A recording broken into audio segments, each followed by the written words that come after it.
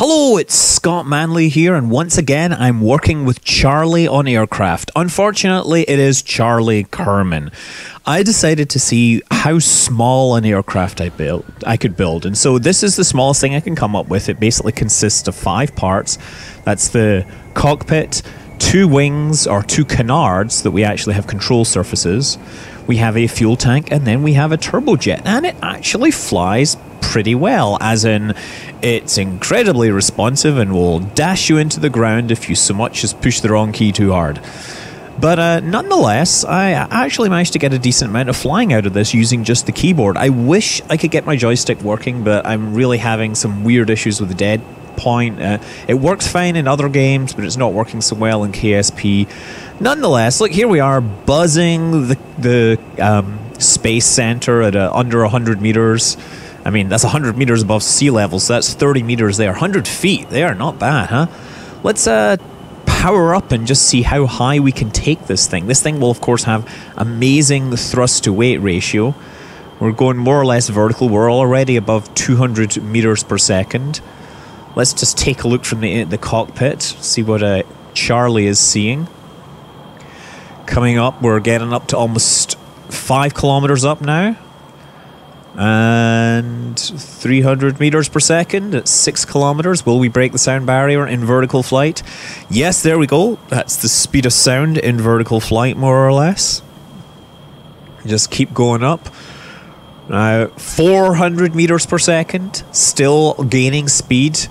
400 and 50 and I think our velocity is peaking out. We're like 15 kilometers up and we're starting to lose velocity. So our thrust to weight ratio is not able to overcome the force of air resistance and gravity. So I'm just cutting my engine before I so I don't waste fuel. Now, of course, we're still coasting upwards at some remarkable rate. Uh, I think this is possibly the highest I've managed to take an air breathing engine. Could probably go further if I kept that engine on a little longer, but it's not bad, I have to say. There we go, 25 kilometers, might get up to 26. I mean, you're 26. A lot of people have trouble getting that high on rockets. I, I jest. No, a lot of beginners have trouble getting that high on rockets. 27 kilometers, and we're still going upwards, although we are just starting to peak out here. 27 354 27 354 there we are. And now we are plummeting back towards the earth. And we are gonna fire up the engines once we get lower. Now uh, where else? I guess we can now go for well we can pull out of this dive and uh, get ourselves back under control. Uh, with this you really need to turn on press the t key to enable sas and uh, the caps lock hit the caps lock so you enable fine control and that's just about controllable. It's probably really easy to fly using a joystick but as i said my joystick is not behaving for me. Uh, down below 20 kilometers we could probably fire up the engine soon starting to get something but i'm going to wait for you know maybe 14 kilometers or so. Let's see where we go you can see all the debris scattered around the space center from previous experiments gone awry. There we go, starting to pull out of this dive here. Uh, we are plummeting towards the ground at quite a clip, like 0.4 kilometers per second. So, so uh, we will probably take a good amount of time to slow down. You see those canards pitched right up, trying to hold the nose up. Uh, the way I built this is, of course, I put this together in the vehicle assembly building and then I just made darn sure that the center of lift exactly matched the center of mass. Uh, if you get it off of that, uh, it can be highly unstable.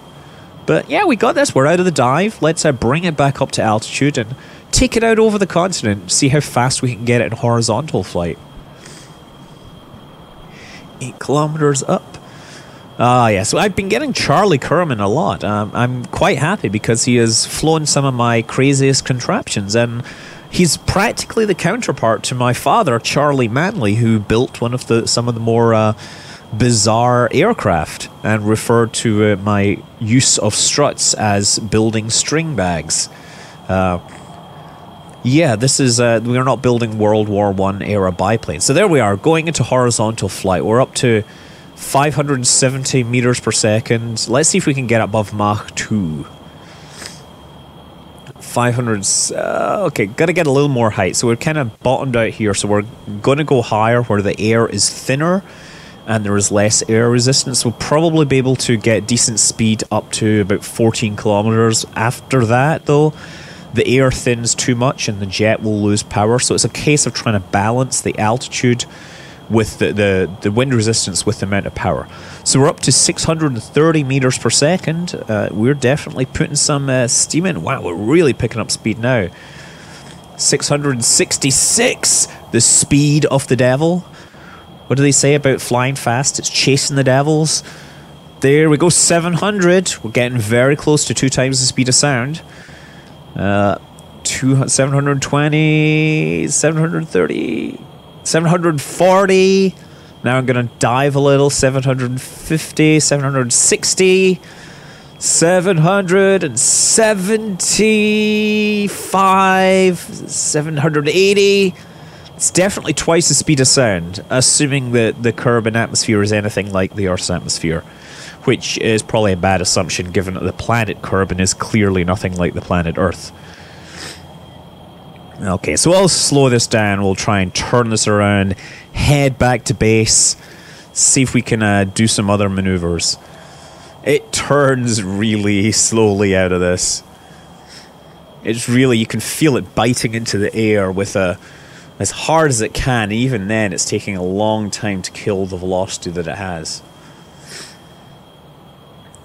down below 10 kilometers. It's easier to turn as you get lower again because the air the air gets thicker and it grabs onto the vehicle a little more.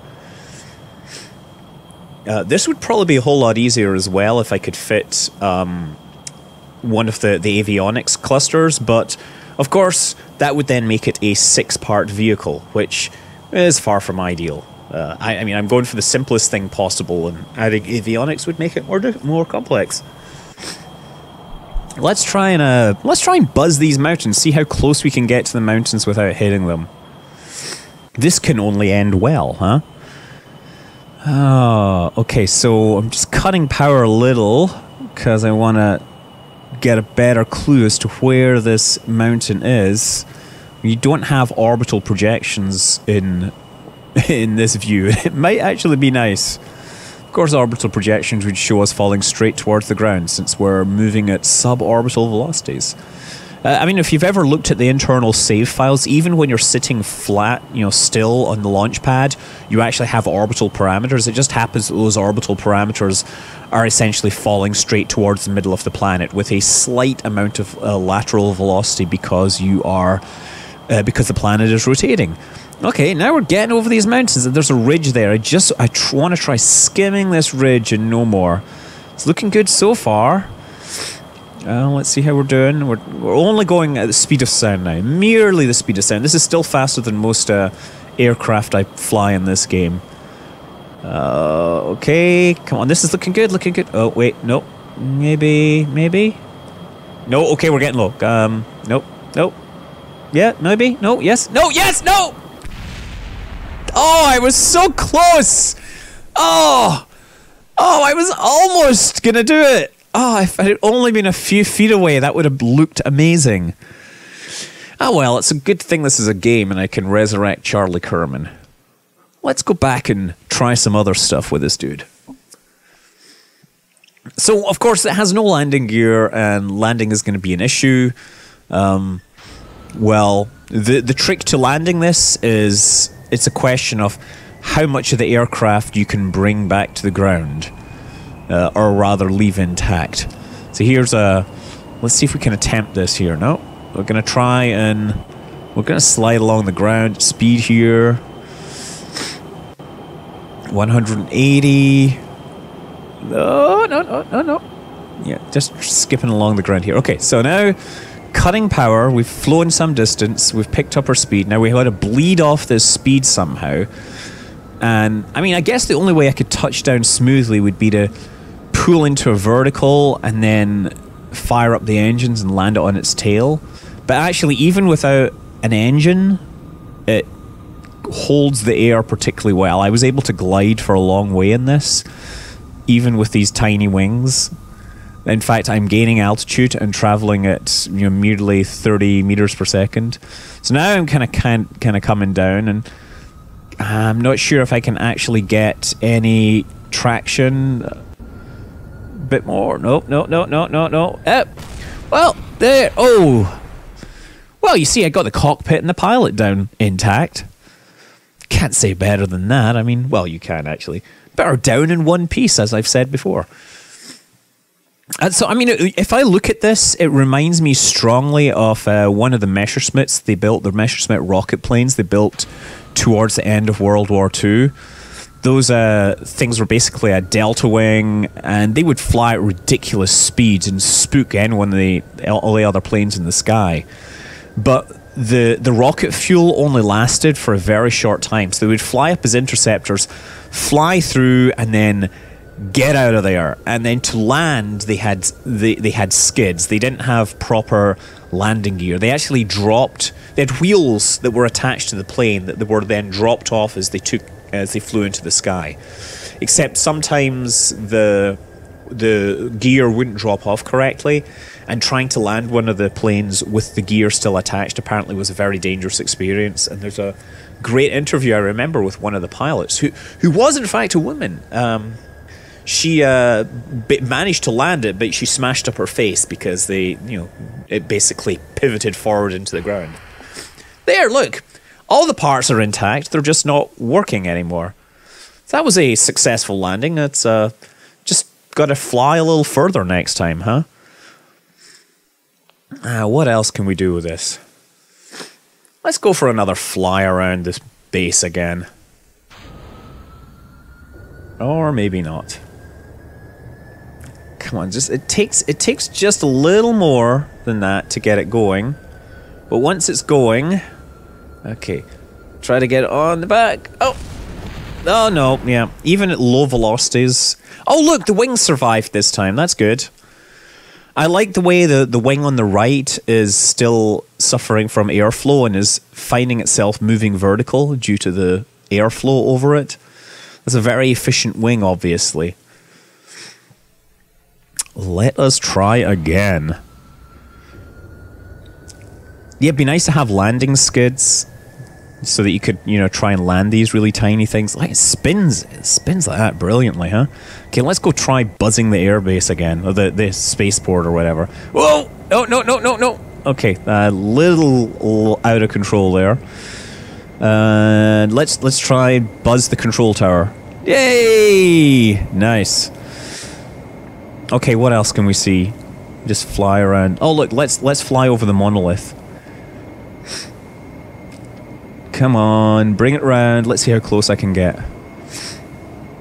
400 meters up. Let's see how low. Just remember, the ground is like 60 meters up. So if I can get it, you know, below 160. Uh, oh, yep, gonna buzzed him at 100 meters. That's not bad. 100 meters is 300 feet, or 330 feet for you guys that still speak um, American. Let's come around over the water. We're just running this at like this is we haven't adjusted the throttle. We're still running it barely the throttle needed to get vertical to start with. There we go. It actually turns a little better when you're flying at slightly lower thrust, and of course it's going to have way better endurance. Yep, there we go. Buzzing another bit of debris. Okay, now let's go into landing mode again. Or actually, now let's try and do a loop-the-loop -loop here. See if we can bleed off speed like that. What I'm trying to do is get my plane to actually go into a tail slide, but I don't think that's going to happen. Uh, actually, this may not be such a good idea. yes. If you're going to do a loop-the-loop, -loop, make sure you have enough floor beneath you. Okay, well, there is another way um, you can... Well, there's another interesting thing you can do, actually. We've, we've seen this a couple of times. Let's uh let's just fly along at low level and I'll show you a little trick here. Well, a little exploit or something, I don't know. Just gonna try and skim the surface using the, the shadow as my guide for altitude here. Try to get it up as fast as I can. So I can have the most epic experience. There's some more debris from other crashed planes. I might go out and recover those one of those days. It'd be nice, you know, in the campaign mode to have to be able to um, reacquire resources by picking up debris that's sitting around. Okay, yeah, just skimming the ground at about. Uh, oh, there we go. Oops, jump out and bounce along the ground at uh, 600 miles an hour. I'm Scott Manley. Do what I say, not what I do. Fly safe.